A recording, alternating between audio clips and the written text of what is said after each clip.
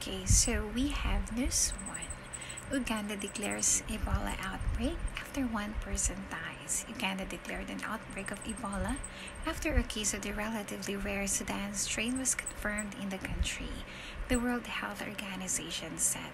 The WHO Africa office said in a statement the case was confirmed after testing a sample from a 24 year old man in the country's Mubende district. Uganda health authorities investigated six suspicious deaths in the district this month. The country's health ministry said the 24 year old patient died after displaying symptoms.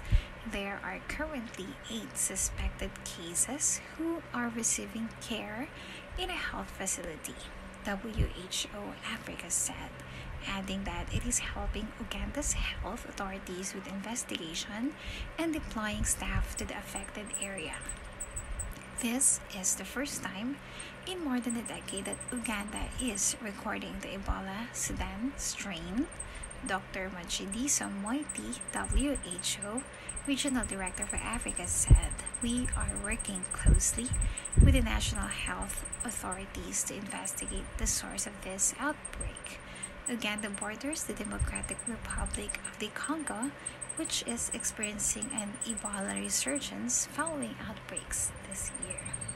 So, news 2 China considers easing entry rules for some foreign tourists. The Chinese government issued draft regulation that aim to bolster tourism along its border and make it easier for some foreigners to enter China according to a draft policy document released by China's Ministry of Culture and Tourism.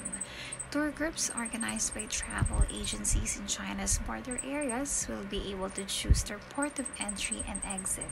However, further details on locations and dates weren't provided.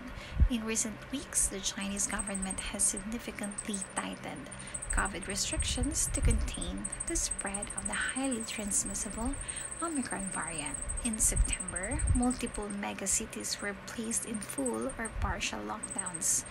Under the new draft policy, foreign tourists will be allowed to visit China's border tourism sites, but only as part of tour groups. The policy didn't specify whether those entering would still have to follow China's quarantine requirements for incoming travelers, which consists of one week of hotel quarantine and three days of home observation.